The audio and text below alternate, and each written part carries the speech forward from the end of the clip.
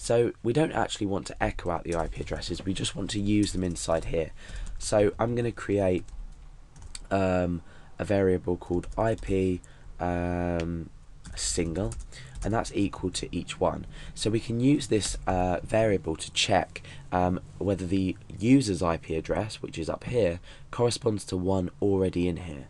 So we can say if, we can say if IP address is equal to, so using our double equals comparison operator, is equal to IP single, do something, otherwise do something else. Now in actual fact we don't need this if else statement, we just need an if statement because if the if the um, IP address is in there, uh, actually let's think about this logically, if the IP address is in there we don't want to record the IP. So what we can say is um, if IP address doesn't equal IP single. So essentially what we're doing is we're looping through this ip.txt file, we're checking if the user's IP address is to this is equal to this one first, and then we're checking if it's equal to this one. Now if it is equal to this one, um, or if it's not equal rather, we're going to say found equals uh, false. Uh, otherwise, we're going to say, back up here, found equals true.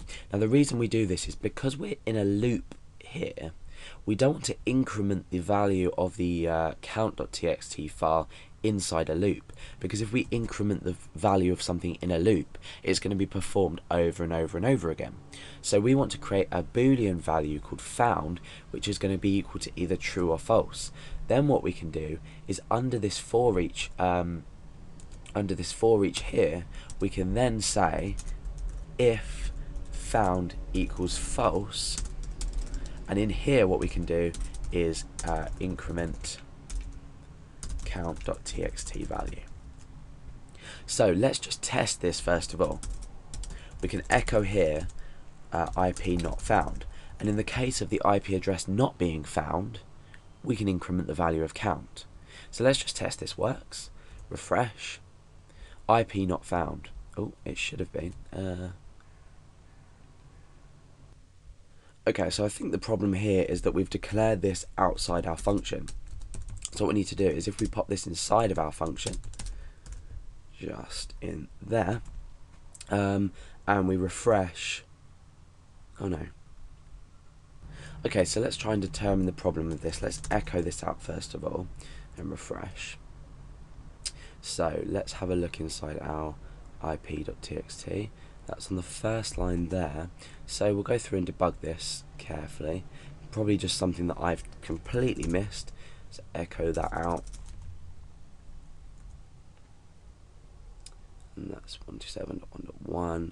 So um, if that is equal to my IP, IP address underscore address doesn't equal IP single found equals false Else found equals true. Oh, okay, I understand. So, if it is found, we need to say, if it's not found, we need to say found equals, oh yeah, false. Uh, otherwise, found equals true. And we need to say, if found equals true, and we run this, uh, it means our IP address has been found. However, if I was to remove uh, this IP address, we can keep this one and refresh. Oh no. Okay, hold on. Let's take another look at this. Let's uh, pop that back in there. So this is probably great that I've made a mistake. You can follow me um, uh, to see what I've done wrong. So if IP address doesn't equal IP single, um, found equals false. If found equals false is equal to false, uh, right, okay, I think I've sort of worked out the problem. Now, I'll tell you why this isn't working first of all. Uh, I've had a I've had a little look at it, um, and I've and I've sort of worked out what's wrong. So, what's happening is is we're because we're looping through every IP address. First of all, we're going to set the boolean found uh, found the the variable found, which is a boolean, to true and then what we're going to do is um, yeah, so, okay. So IP address doesn't equal IP single. Let's change this to equals equals, and we'll change this around so it's just easier to uh, grasp. So if the IP address in the uh, file does equal the IP address of the user, then found equals true. So therefore, if found equals true, we want to say already, um, or we'll just say found for now. So otherwise we want to say false. However, when we go through again, it's going to check the second one and put this to false automatically. We're not keeping the same value of found. Therefore, underneath each one of these, we want to use break.